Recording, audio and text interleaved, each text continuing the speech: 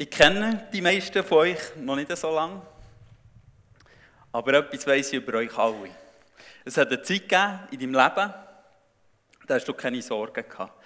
Du hast dich wohl gefühlt, dir war es warm, gewesen, rundum gut gegangen, du bist in allen Bereichen versorgt gewesen. Leider ist für uns alle die Zeit nach etwa neun Monaten fertig gewesen und wir sind auf die Welt gekommen. Das Zweite war, du bist auf die Welt gekommen und du hast die Augen aufgemacht und hast gesagt, wow, da gibt es mega viel zu entdecken. Da sind deine Eltern gesehen, da hat es gehabt, Spielzeug, Bäume, Pflanzen, andere Menschen. Die Liste wird unendlich lang und du hast dir wahrscheinlich gesagt, das will ich alles entdecken. Das ist mega genial.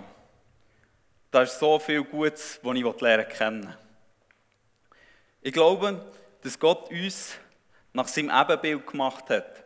Und durch, zwei, durch die zwei Grunderfahrungen, die wir ganz am Anfang im Leben hatten, zwei ganz wichtige Sachen uns hineingelegt hat.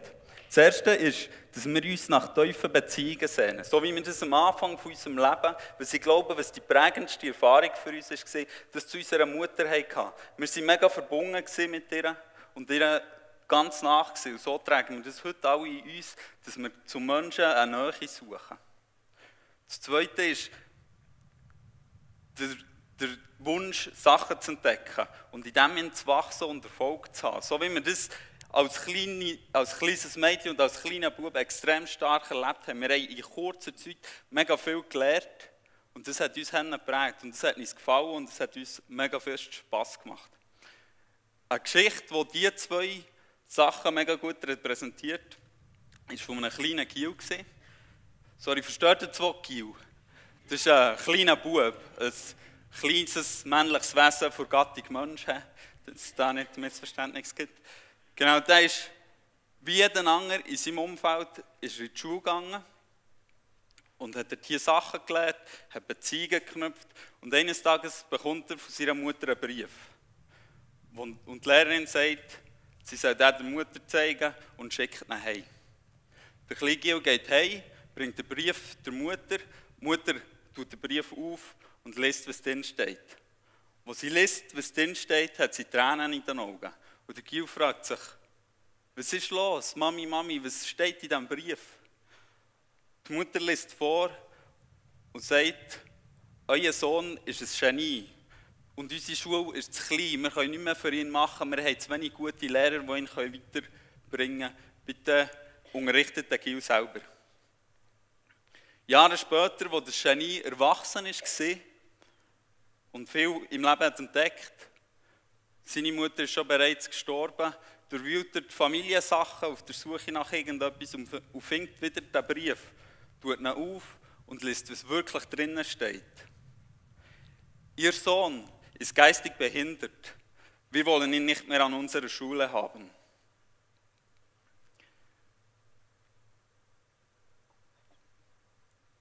der Gil oder der, das Genie hat hier mit voller Staunen den Brief gelesen und er denkt, wow, das ist krass. Hat meine Mutter mir das dann gesagt, wäre mein Leben ganz anders rausgekommen.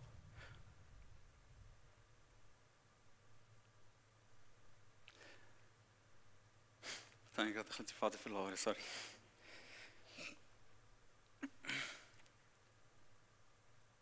Ich mache einen Gump finde ich gerade nicht mehr. Wir alle haben so Situationen im Leben, wo wir Menschen begegnen, die uns glauben. Wie, ah sorry, jetzt ist es wieder gekommen. Super. Die Geschichte wird besonders interessant, wenn wir wissen, um wen es geht.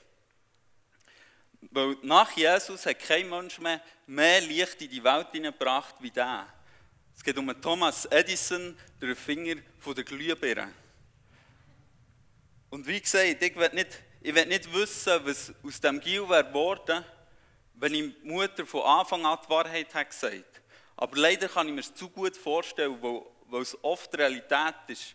Wir alle kennen so Situationen im Leben, wo wir, wo wir Menschen kennen, die uns glauben, aber wir kennen auch das Gegenteil. Wir kennen Situationen, wo wir Erfolg haben, aber wir kennen Situationen, wo wir auch versagen. Und die Begriffe von Erfolg, von, von Wachstum oder Entdeckergeist und die Begriffe, die wir leider auch kennen, von Versagen, von Zusammenbruch und von Entmutigung, die sind für uns mega starke Begriffe. Wir bringen sehr starke, starke Emotionen. Und ich muss nicht erklären, welcher das positiv und welcher negativ ist. Leider kennen wir alle. Und so ist irgendwie durch die Erfahrungen, die wir gemacht haben, sind die zwei Bedürfnisse in uns innen oft nicht erfüllt worden und wir sind dort in diesen Bereichen abgestumpft worden. Wir haben prägende Verletzungen erlebt, wo unser Entdeckergeist und unsere, unsere Sehnsucht nach Bindung zu anderen Menschen wie kaputt gemacht hat. Und dadurch gibt es viele Menschen in der heutigen Gesellschaft, die in Einsamkeit leben oder Menschen, die nicht mehr sich selber und nicht mehr andere Menschen glauben. Und das finde ich eine relativ grosse Tragödie.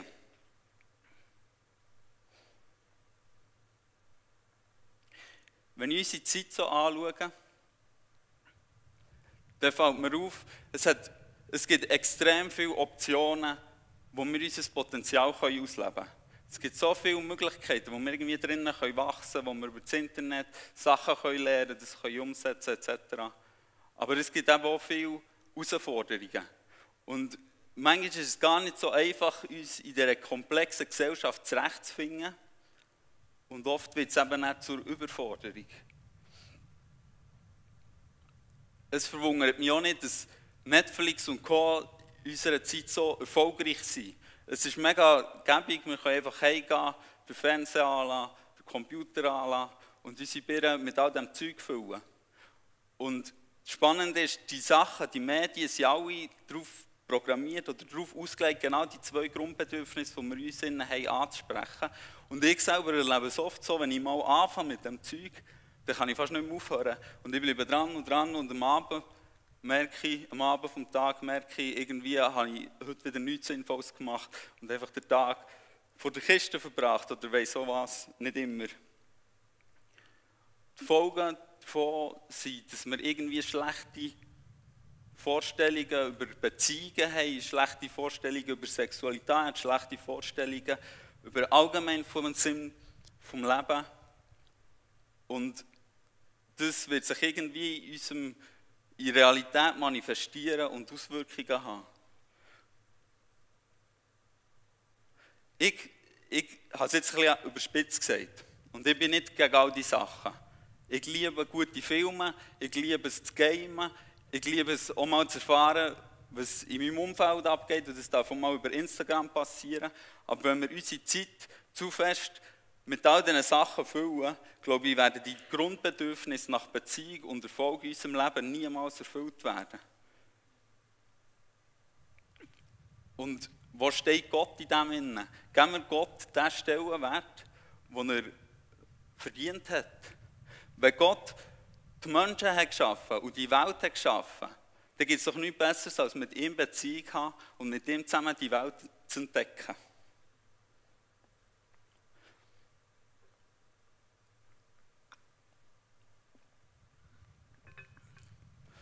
Noch so als Nebenbemerkung, dann werde ich wieder zurück zum Thema kommen.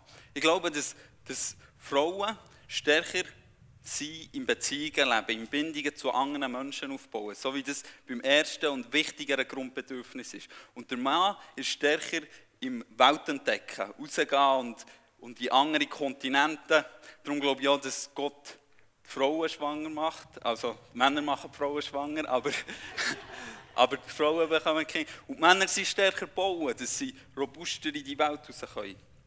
Das finde ich ein mega spannendes Bild oder ein Gedanke von Gott, der mega gut zeigt, wie abhängig wir voneinander sind.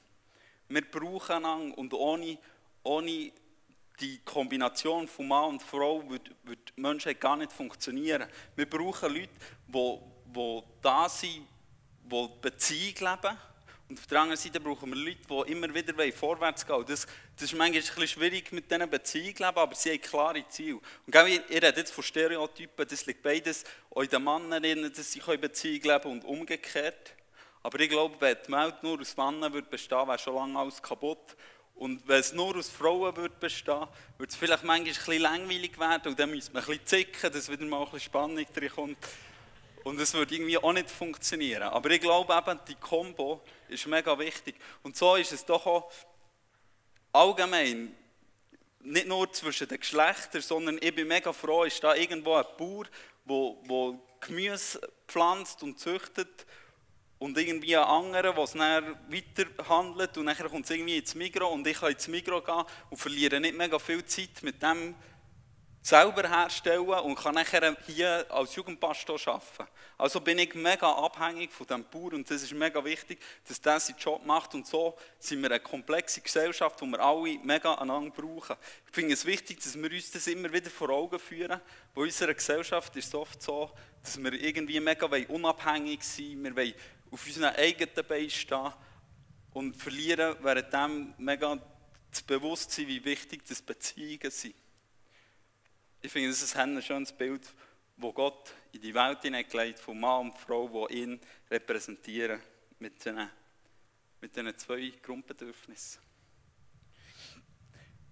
Ich liebe es zu sehen, wenn Menschen in einer versöhnten Gemeinschaft zusammenleben und gleichzeitig in dem Innen in allen Lebensbereichen erfolgreich sind.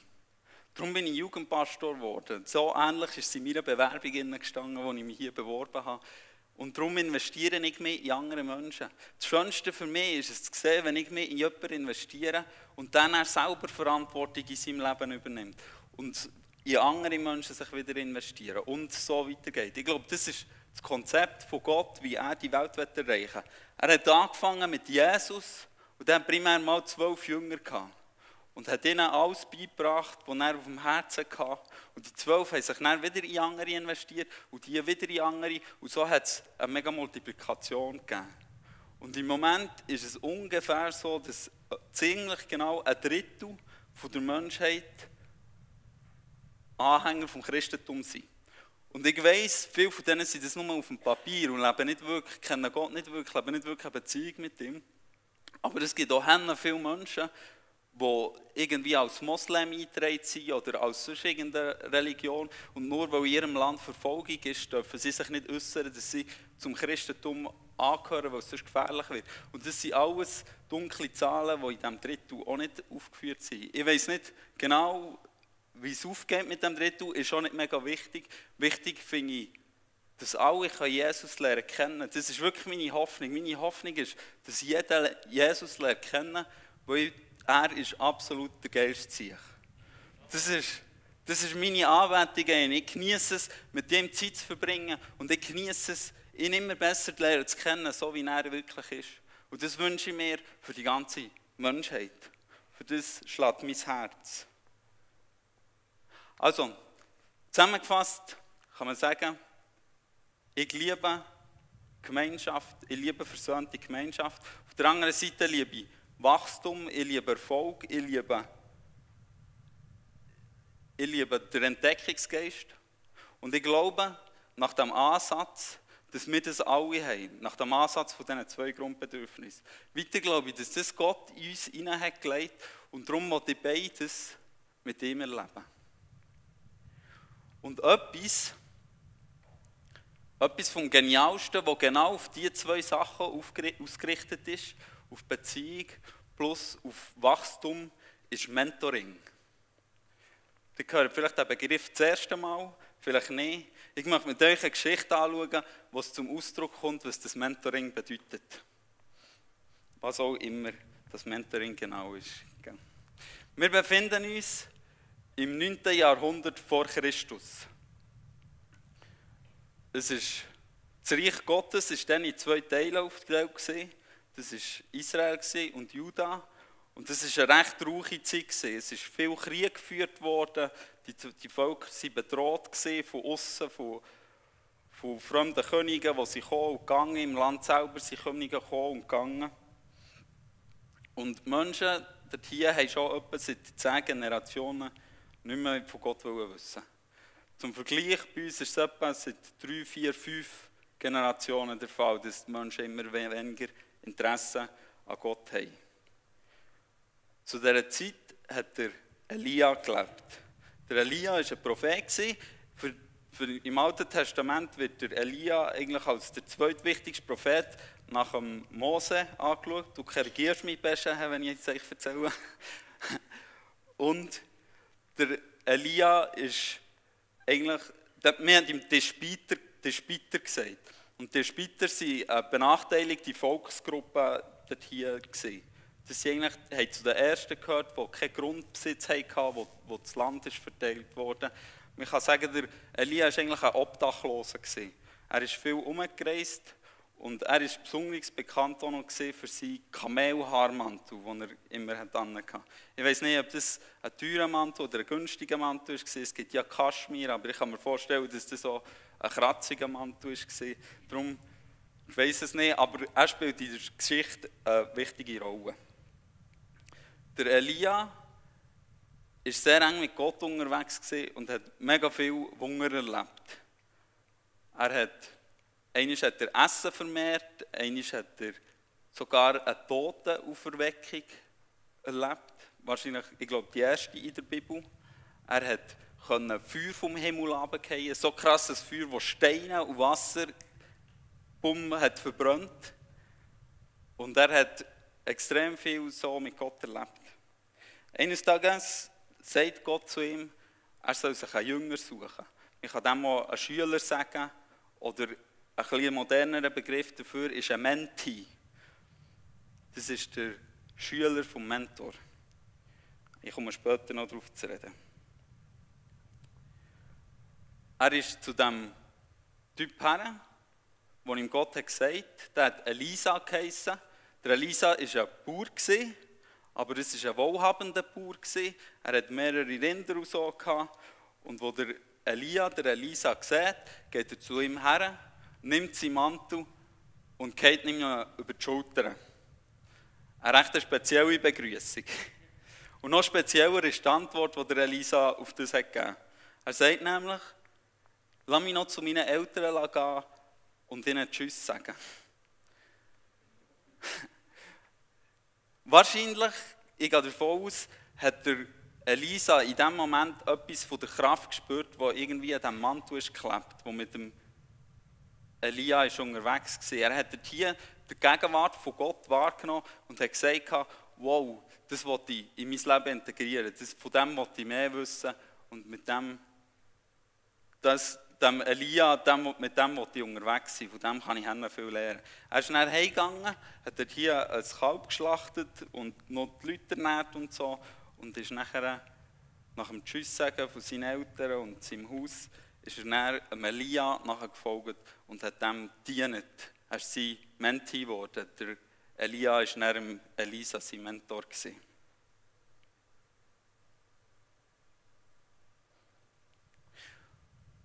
Als die Zeit kam, dass der Elia die Erde verlässt, hat er das nicht wie die meisten von uns gemacht und ist gestorben, sondern Gott hat ihn lebendig in den Himmel holen er hat das schon dort hier Propheten und so mitteilt und auch Elisa und die zwei sind nachher an den Ort gegangen, wo das hat stattfinden.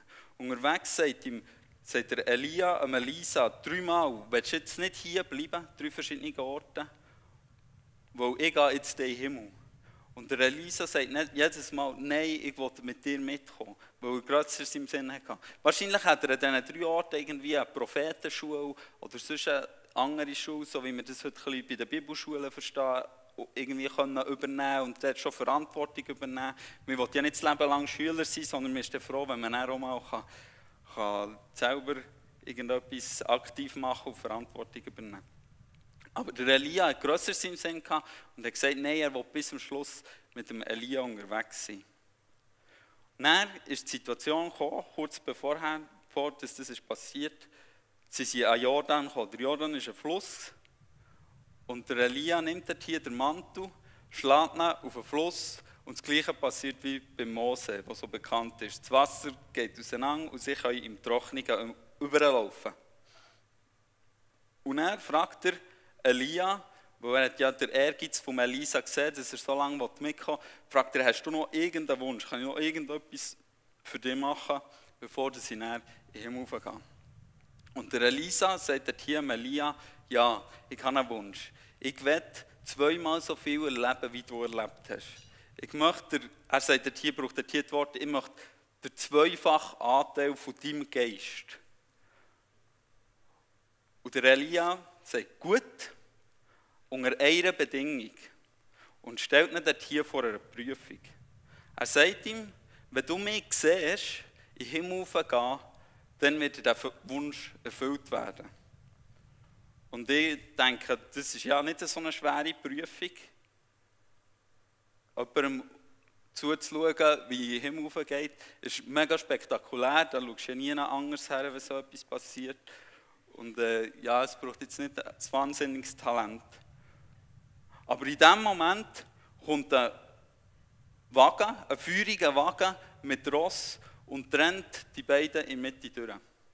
Und die erste Überlegung wäre doch jetzt von Elisa, ich kann einfach auf den Wagen schauen. Das ist das, was ich will. Ich will Wunder sehen, ich will Sachen erleben. Und der Wagen kommt jetzt, dann kann ich den schon mal anschauen. Und dann nimmt wahrscheinlich jetzt der Elia gerade damit die Himmel auf. Er schaut auf den Wagen, aber nur kurz, weil er, weil, Prüfung, weil ihm die Prüfung wieder in Sinn kommt, schaut auf Elia und sieht, wie er im Sturm aufgeht. Was passiert hier? Die größte Ablenkung für Elisa kommt, aber er bleibt treu und besteht die Prüfung, indem er auf Elia schaut. Er sagt dazu, Vater, Vater, der Wagen Israels und seine Reiter. Mit Vater, Vater, also er sagt es nicht, er schreit zu ihm, zum Elia, weil es ja wahrscheinlich ein bisschen laut und so. Schreit es zu ihm, zum Zeichen, Vater, Vater, zum zeigen, wie wichtig das Beziehung ist zu ihm. Und dass er Prüfung besteht und dass er sich nicht ablenken eben von dem Wagen, der ein bisschen brennt. Da. genau. Der Elia zum Zeichen, dass der Elisa die Prüfung hat bestanden und, ihm, und er hat gesehen, das hat er ihm ja gesagt, lässt er seinen Mantel fallen und der Elia nimmt den, geht zum Jordan und was macht er? Er nimmt ihn, rollt ihn zusammen und schlägt ihn auf den Jordan und fährt genau dort hier an, wo der Elisa hat aufgehört hat. Das Wasser teilt sich, er läuft über. Dann hat es irgendwie noch 50 Prophetenjünger, die das irgendwie so ein bisschen von mittem haben Und die begegnen ihm natürlich mit riesen Respekt. Und das ist das Schönste für einen Mentor. Wenn er sieht, dass sein Menti dort hier anfängt, wo er selber hat aufgehört Der Mentor bringt dem Menti alles bei, was er weiß und kennt.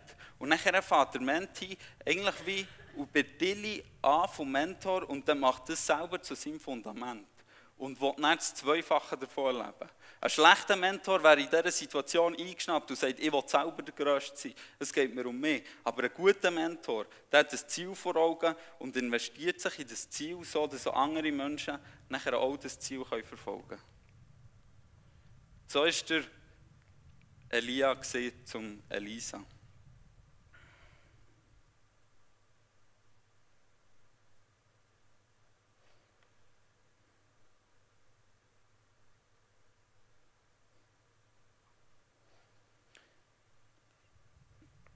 Zu dieser Zeit hat es einen König in Israel. Und wo der Elisa am Sterben war, ist der König, und der ist schon mal ein bisschen unterrichtet worden, so von einem Priester, aber er hat nie ein Mentoring gehabt, wie das der Elisa vom Elia hatte. Ist zum Elia, Elisa gekommen, wo er im Sterben war, und hat ihn begrüßt mit dem Wort: Mein Vater, mein Vater, der Wagen Israels und seine Reiter. Auch wieder eine spezielle Begrüßung. Die Begrüßung war eigentlich eine Anspielung darauf, dass er auch gerne den Mantel hat. Dass er auch gerne jetzt die Salbung wird bekommen die der Elisa vom Elia hat bekommen. Und wird es dann weiterführen nach dem Tod von Elisa. Der Elisa sagt wieder gut und macht es gleich, wie der Elia das beim Elisa hat gemacht. Und stellt ihm zwei Prüfungen. Er hat, ja, aber er hat zweimal so viel erlebt, darum wollte er jetzt so zwei Prüfungen stellen ist nicht so wichtig.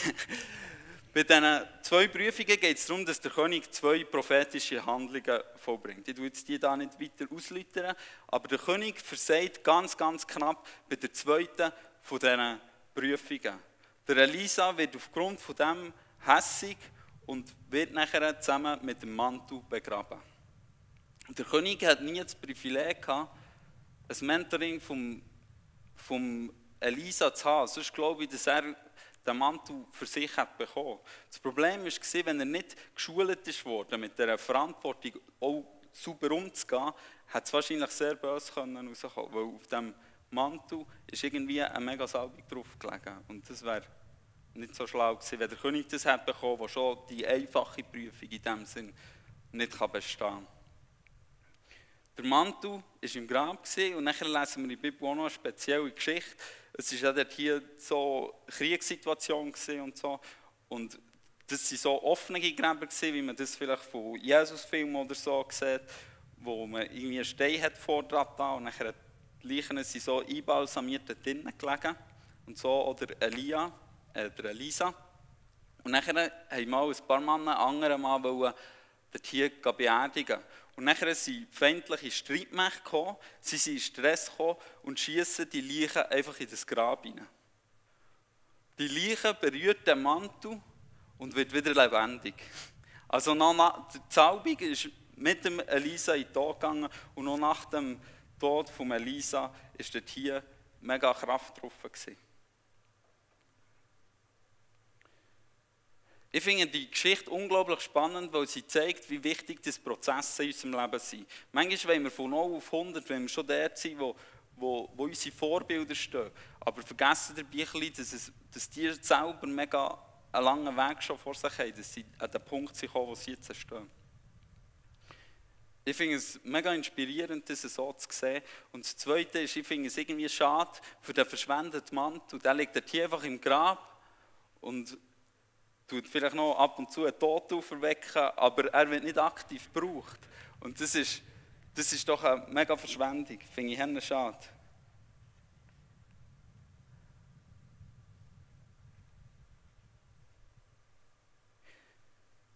Ich möchte euch, ich möchte euch ermutigen, ich möchte euch ermutigen, in eurem Leben, in eurem Umfeld umzuschauen und selber nach dem Mantel zu suchen, der für euch steht, der für euch ist. Ich möchte dich ermutigen, dass, dass du heute damit anfängst und nicht erst, wenn der Mantel kurz davor ist, ins Grab zu gehen, weil dann ist es vielleicht spät.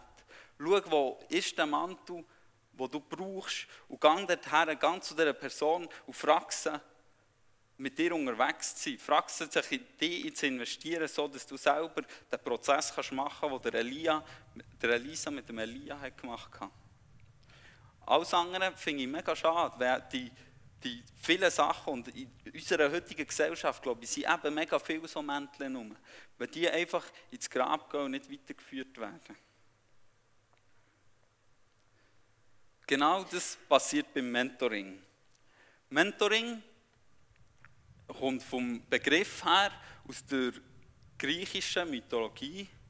Der Odysseus hatte einen Sohn und der hat er von einem Freund erziehen, der Mentor hat geheissen. Und der war mit ihm unterwegs. Gewesen. Also ganz einfach, der, der Mentor, Kollege von Odysseus, der hier kommt das Wort her. In der, in, in der Geschäftswelt wird der Begriff Mentoring dafür braucht, dass sich eine erfahrene Person mit einer etwas weniger erfahrenen trifft und der alles beibringt, wo, wo sie weiss, sein Know-how erklärt, seine Strategie immer erklärt und ihm das weitergeht, wo er die Prozesse weitergeht, die er selber hat gemacht hat. Vielleicht im Vergleich zum Coach. Der Coach ist einer, der für das Coaching ausgebildet ist. Aber eigentlich haben, genau, haben beide das gleiche Ziel. Ob, dass sich jemand kann falten und jemand kann weiterkommen in, sein, in seinen Ziel. Nehmen wir Roger Federer. Ein Roger Federer kann niemand Mentor sein. Vielleicht kann der Roger Federer ein guter Mentor sein für jemand anderes. Aber der Roger Federer hat Coaches, die ihn gleichzeitig immer noch unterstützen, weiterzukommen. Ein Mentor ist wichtig, der ist weiter als jemand, der unerfahrener ist. Das ist die Geschäftswelt. In der Kirche haben wir den Begriff genommen und wir haben ihn bisschen abgeändert. Und je nachdem, wo das mit Kirche geht, in welche Bewegung und so, wird der Begriff auch ein bisschen anders gebraucht. Dort wo ich herkomme, ist es sehr stark so gesehen, dass der Mentor hilft dem Menti, eine Lösung zu finden für ein, Problem, das er hat. Und er hilft ihm, primär durch Fragestellungen und Zeug und Sachen, dass der Menti selber drauf kommt. Und weniger durch eine beratende Rolle. Er sagt ihm weniger, was er selber für Prozesse hat gemacht etc. Die Begriffe werden unterschiedlich gefüllt. Und ich glaube, das ist, das, das ist noch wichtig, dass wir uns das bewusst sind, dass wir irgendwie in Geschäftswelt unserem Chef sagen, ja, ich treffe mich mit einem Mentor und wir verstehen völlig etwas anderes darunter. Es ist auch nicht mega wichtig, was es jetzt genau wo, wie ist, aber einfach wichtig, dass wir uns bewusst sind, dass es die Unterschiede gibt. Und ich glaube, wenn wir hier das Thema kultivieren wollen, dann liegt es an uns, den Begriff selber zu füllen, dass wir selber dem ein System geben oder äh, ein Konzept geben, dass wir einfach eben, hier sind wir noch in einem Prozess dran und ihr werdet sehen, ihr werdet auch von uns hören, ich hoffe, es wird weitergehen und nicht bei dieser Predigt bleiben. Genau, ich selber habe schon mega coole, geniale Erfahrungen mit dem Thema Mentoring machen. Als ich in der Oberstufe bin und so in der Lehrzeit bin ich, habe ich mich häufig zweiwöchentlich mit einem Kollegen getroffen. Wir haben dann wirklich Mentoring gesagt. Wir haben zusammen die Bibel angeschaut und ich habe viel über die Bibel, über seine Ansichten lernen. Das hat mir mega gut getan und ich konnte lernen auch selber verantwortliche Leiterschaft übernehmen. Ich würde heute absolut nicht an dem Punkt stehen, wenn ich mich dann mit dem Kollegen getroffen Und dann hatte ich andere Freunde in meinem Leben, gehabt, haben wir nicht, Mentor, dem haben wir nicht Mentoring gesagt, aber es war trotzdem ein bisschen wie ein Mentoring. Gewesen. Ich habe einen guten Freund, der Andi, der hat mich oft mitgenommen, wenn er ins Ausland ist gegangen, wenn er irgendwo eine Predigt ist gemacht und hat mir mega viel beigebracht so beim Thema Heilung und Prophetie und habe wirklich viel von ihm Spannendes dürfen lernen. Bin ihm dankbar, dass, ich, dass er mit mir so unterwegs war, dass er mich mitgenommen hat. Ohne ihn würde ich heute absolut nicht da stehen, wo ich jetzt stehe. Ich ich bin mit der Jana sind wir zusammen in ein Bar-Mentoring, dass wir ein unsere Ehe können vorbereiten können, weil da gibt es manchmal auch Herausforderungen, die man, wo man vielleicht ein bisschen anschauen muss und es manchmal ein bisschen ja, blauäugig wäre, wenn man ohne das in die Ehe würde starten würde. Hat unsere Hände gut getan, wir haben so Hände wertvoll erlebt. Ich habe schon Mentoring in der Gruppe erlebt, im Moment mache ich theologische Ausbildung und dort hier haben wir auch Mentoring. Da sind wir immer zu viert oder so in einer Gruppe und haben einen Mentor und dann schauen wir Sachen, so Themen gerade in der Gruppe an. Finde ich auch eine spannende Methode, weil man dann hört man immer, was so bei den anderen im Leben abgeht und kann das wie... Manchmal checkt man, dass alle ein bisschen einen Flick haben und man nicht der Einzige ist. Und, und man kann mega viel davon lernen, was, was andere für Prozesse machen. Ich habe selber schon Schulung genommen im Thema Mentoring und finde das Thema Mentoring ein mega geniales Thema, das mich gefreut hat, wo mich der Beste gefragt hat, ob ich heute eine Predigt zu diesem Thema mache. Beim Mentoring finde ich auch genial, es geht nicht darum, einfach jemandem irgendwie, einer jüngeren, einer jüngeren Person ein Konzept überzustülpen. Sondern es geht darum, dass sich die Person kann entfalten kann und ihren eigenen, ihren eigenen Weg nachher gehen kann. Und der Elisa, hat auch viel Wunder erlebt. Haben viel gemacht. Ich könnt euch vorstellen, was das heisst, das Zweifache von Elia noch dürfen zu machen. Er hat, er hat hier eine Totenauferweckung erlebt. Er hat hier Speisenvermehrung erlebt. Eines ist einem Arbeiter ein Eisen irgendwie zum Arbeiten ins Wasser gefallen. Das kann eine Axt sein oder so. Und der Arbeiter war ein Knecht und hatte Angst gehabt, dass er nachher von seinem Meister einen riesen Zusammenschiss bekommt und er hat so die Axt gar nie vermögen zu zahlen. Und dann kommt der Elia, nimmt ein Stück Holz, schießt es ins Wasser und das Eisen fängt an zu schwimmen. Beim Mentoring geht es ein bisschen darum, dass man, dass man wie man kann es vergleichen mit einem Schnitzer, der schon ein Bild in einem Baumstamm innen sieht und das Bild probiert rauszuholen, ohne dass er es verletzt. Und so, es kann auch falsch verstanden werden, aber es geht nicht genau um das Bild, das der Mentor vom Menti im Kopf hat, sondern es geht darum, dass schon das aus einem herausgeholt wird, was schon bereits in einem steckt, dass man so das volle Potenzial entfalten kann. Wenn du jetzt bei diesem Thema ein bisschen lustig bist worden und du sagst mal, du möchtest selber so in ein Mentoring gehen, und vielleicht sogar, vielleicht auch für den Tipp so, wenn du selber mal willst, Mentoring geben dann möchte ich dir noch drei Ratschläge geben. Das erste ist Commitment. Es ist extrem wichtig, wenn du in ein Mentoring gehst, dass du wirklich von ganzem Herzen weitergehen willst. Dass du mit der Haltung gehst, wie der Elisa ins Mentoring ist gegangen, wo der zweifach sagen will, wo etwas daraus machen will von dem, was er, was er bekommt. Ich glaube, Investition in Leute, die kein Commitment haben, ist Zeitverschwendung. Wenn man die Geschichte von Jesus anschaut, man kann sagen, gut, er hat jetzt noch ein andere Aspekte gehabt, aber das war der Judas. Gewesen. Ohne Commitment geht nichts vorwärts. Und Commitment, der Will Smith zum Beispiel sagt, Commitment ist der Weg zum Erfolg. Und das glaube ich auch. Commitment ist mega wichtig in jedem Lebensbereich, dass man vorwärts kommt. Und darum auch ganz wichtig im Mentoring. Also bevor du ins Mentoring gehst, überleg dir, für was schlägt wirklich mein Herz? Wo willst du her? Und nachher Gang zum Mentor, schau das mit dem an. Vielleicht ist es wo du schon ins Mentoring gehst, um herauszufinden, für was es dein Herz schlägt. Aber dann auch mit der Haltung wirklich weiterzukommen. Das Zweite ist Loyalität. Und das ist ein Bereich, wo ich in meinem Leben fest haben müssen lernen oder immer noch dran ein bisschen lernen. Mit Loyalität meine ich nicht einfach irgendwie sinnlos unterordnen und alles machen, was der, Menti sagt, äh, der Mentor sagt oder so, sondern ihm wie treu sein und ihm für das alles, was er macht, mit Respekt begegnen. Vielleicht auch ein bisschen mit Ehr begegnen und, und mit ein dankbares Herz ihm gegenüber haben. Wir Menschen, wir machen alle Fehler. Und so machen auch Mentoren Fehler. Und für einen Menti ist es immer besonders herausfordernd, wenn sein Mentor einen Fehler macht. Es kommt irgendwie mega schief über. Es ist so, wie wenn der Pastor einen Fehler macht. Das ist nicht das Gleiche, wie wenn ein Teilnehmer einen Fehler macht. Und ich finde es wichtig in dieser Situation, dass man nachher nicht bei anderen Menschen schlecht von seinem Mentor geht reden sondern dass man, dass man irgendwie in Ehre behaltet für all das, was er macht. Es ist, glaube ich, schon mega wichtig, dass man die Sachen mit dem Mentor anschaut, wenn, wenn ihm beim Verhalten von ihm etwas stresst, aber ja nicht ein schlechtes Bild bei anderen Menschen nachher von ihm zeichnen. Ich glaube, das ist wirklich eine wichtige, eine wichtige Frage so von der Kultur im Mentoring. Und das Dritte ist, sucht er jemanden, der sich mega gerne in Menschen investiert. So ähnlich wie bei der Geschichte von Edison, so wie seine Mutter war, nicht so wie seine Lehrerin war. Du kannst einen mega guten Lehrer haben, der mega inspirierend ist, der mega viel weiß, aber wenn der nicht das Herz hat, sich in jemanden zu investieren, dann ist alles für nichts und es kommt gleich raus, wie wenn der Edison von Anfang an die Wahrheit hatte. Such dir jemanden, der mega gerne sich in andere Menschen investiert und nachher kommt das eine super Sache daraus werden.